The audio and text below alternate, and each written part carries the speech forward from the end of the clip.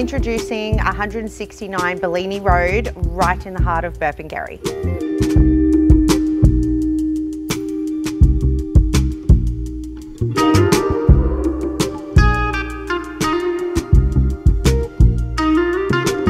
Beautiful low set spacious brick home offering four bedrooms, two bathrooms and a double lock-up garage. Additional large double bay lock-up shed also included at the back of the property on a generous 1,000 square metre block of land. Plenty of room to add a pool for those hot summer days.